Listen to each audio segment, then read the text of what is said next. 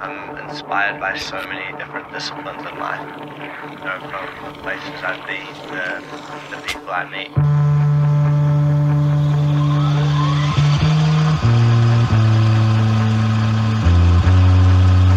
Uh,